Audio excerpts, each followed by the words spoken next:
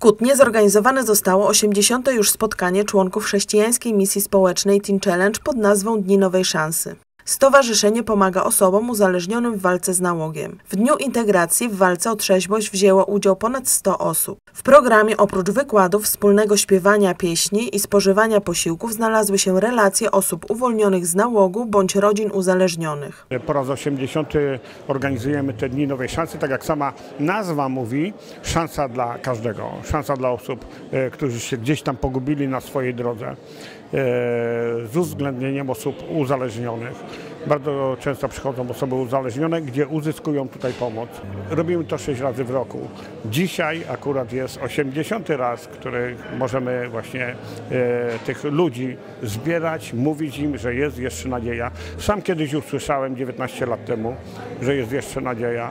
Byłem osobą bezdomną, uzależnioną, z ciężkim bagażem, wrak człowieka, o tak można powiedzieć.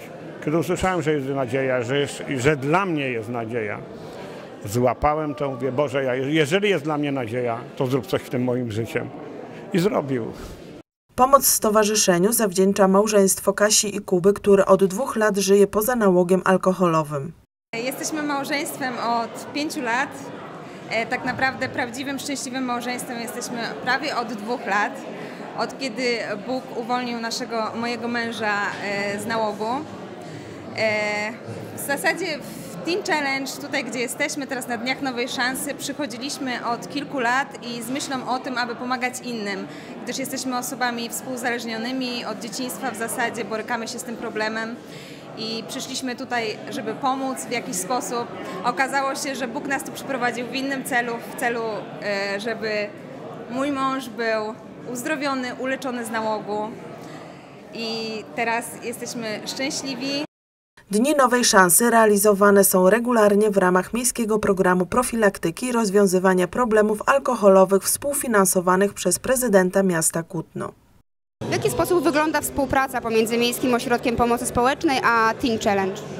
E, To jedna z e, prężniejszych organizacji, która e, pracuje z Miejskim Ośrodkiem Pomocy Społecznej.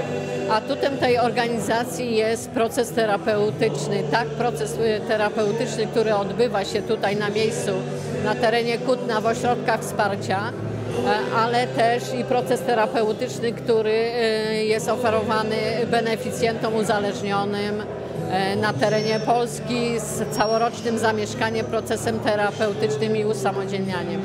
E, To e, niesamowita sprawczość właśnie tej organizacji, tak lokalnie w działaniach, które prowadzą e, na miejscu, jak i w ośrodkach całorocznych. W jaki sposób Wydział Spraw Społecznych i Miasto Kutno włącza się w e, wydarzenia takie, jakie dzisiaj mają miejsce? Ze stowarzyszeniem współpracujemy blisko od 10 lat. W zasadzie ono powstało e, w Kutnie, później włączyło się w działania Teen Challenge i wspólnie realizujemy od blisko właśnie 10 lat wiele imprez. E, To są właśnie Dni Nowej Szansy, są to spotkania dla młodzieży, również dla osób starszych, grupy wsparcia, a od e, trzech lat również punkt konsultacyjny dla osób zagrożonych narkomanią.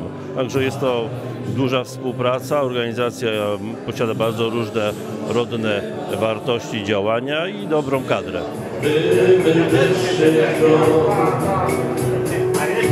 Serce moje nuci pieśń, tę dziewczyną pieśń.